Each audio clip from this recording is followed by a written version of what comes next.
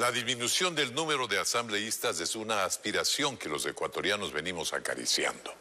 Los asambleístas tendrían que ser sensibles y escuchar este clamor ciudadano.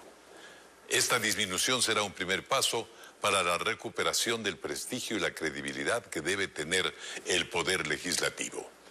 Por lo demás, bien sabemos que el asunto no es de cantidad, sino de calidad.